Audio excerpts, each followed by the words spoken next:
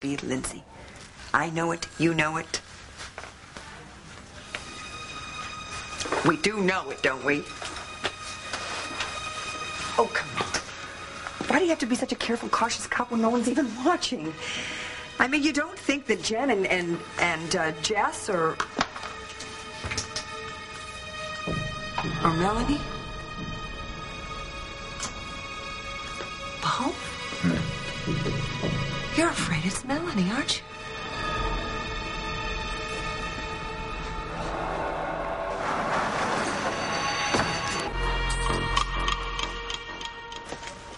Oh, come on.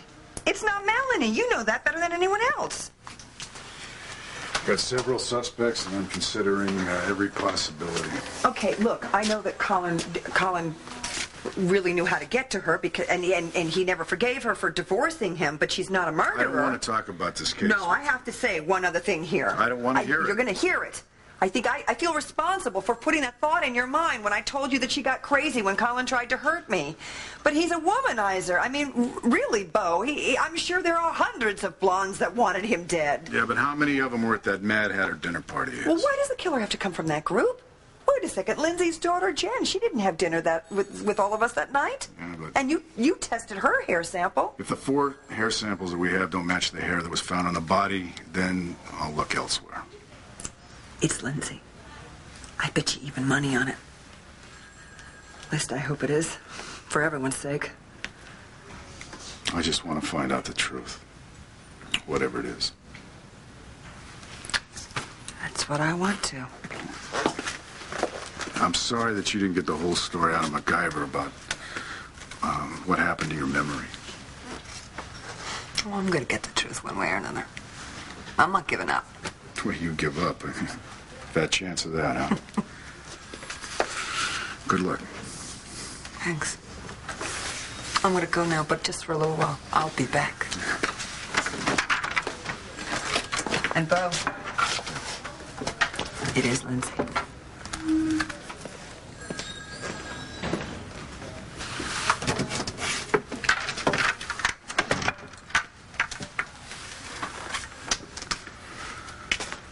We were just stepping out.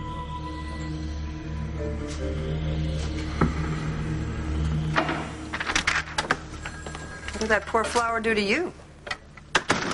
Well, you know what they say. It's not the gift, it's the thought that counts. R.J. Gannon.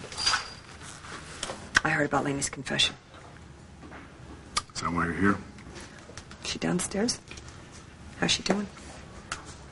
Well, it's her first time in lockup, so she's scared. More scared than uh, she's ready to admit, uh, even to herself. She had any visitors? A few. Jen, Ah, poor kid.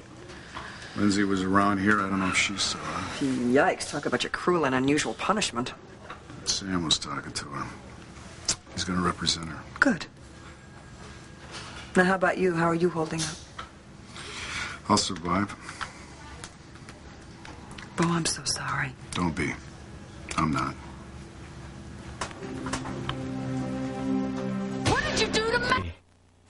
Melanie's confession only proves one thing. She thinks that she could have killed him, and she said herself that uh, she didn't even check to see if he was dead. What did the coroner's report say? A blow to the head killed him. A blow with a poker? Not necessarily. But? But nothing. I mean, you know, it could have been a poker, could have been something else. Bo, was the fatal wound consistent with a blow from a poker? But I'm telling you, it, you just. I cannot believe that Melanie's strong enough to pick up that body and carry it out of the house and down a hill. But she could have. That's just what the prosecution is going to say. Then why would she admit that she killed him and then lie about moving the body? Sympathy. You hit someone over the head and run. Sounds a lot better than you killed someone and you're trying to conceal the body. But does that really sound like Melanie to you? I mean, calculating the best way to confess? No, it doesn't. But it does sound like a theory that the prosecution might try to advance. Uh, she's telling the truth. She still could have killed him. Then someone else hid the body, huh? Why? To, um, to, uh, I don't know. See, exactly. Now, she attacked MacIver, but he survived it. Wait a minute. What if somebody what if somebody hid the body because they were trying to protect Laney? I wasn't there. See, I have an alibi. Not you. You wouldn't do that. No? No, you would. Not even for the woman you love. Besides, you and I both know that if Laney killed Colin, it would have been in self-defense. You know, the trouble here is that she's still too traumatized by what happened to really remember it clearly. So somebody else moved the body. And killed MacIver. You really believe that, don't you? Mm-hmm. And I am trying my damnedest to remain professional here. What does your gut say? My gut's telling me that I'm on the right track. She's innocent. Thank God. Oh, good. Then you agree. Yeah. Great. Good. Good. Then maybe now you'll stop busting my chops. I'm playing devil's advocate. You know that, Bo. I know. And I need somebody to do that. I need somebody.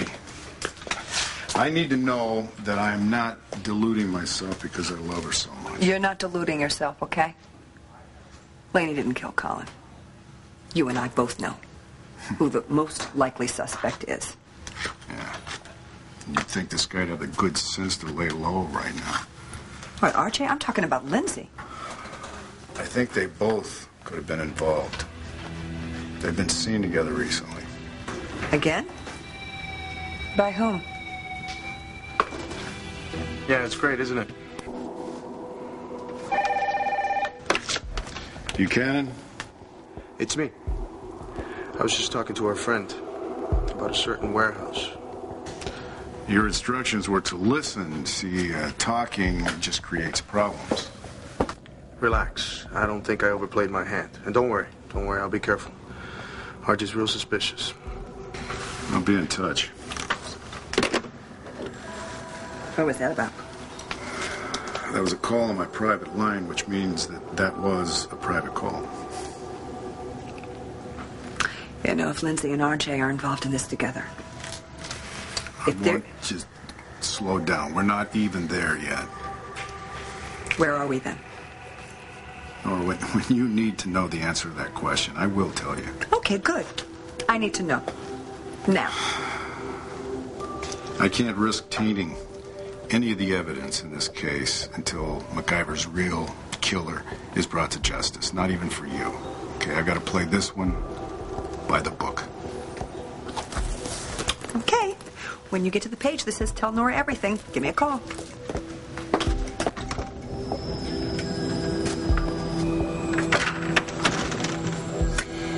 You do things by your book, and I'll do things by my book. You may continue.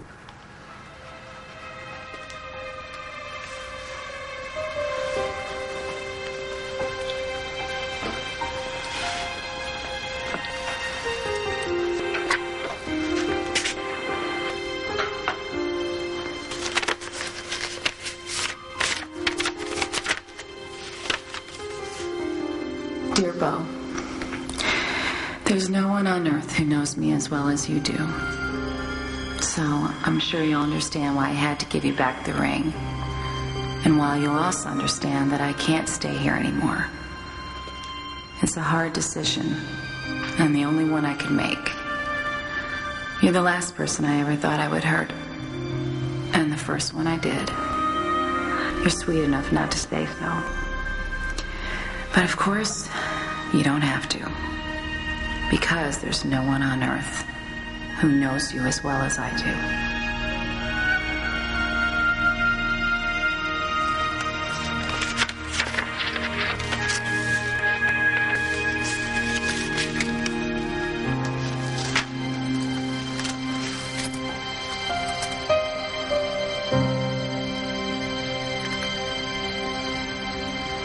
I need to know the truth, Anna.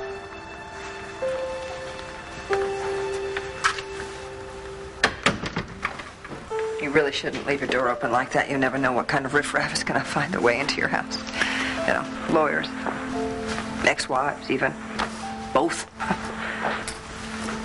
Well, I got a lot on my mind right now. What would the commissioner say about that? You'd understand he's got a lot on his mind, too.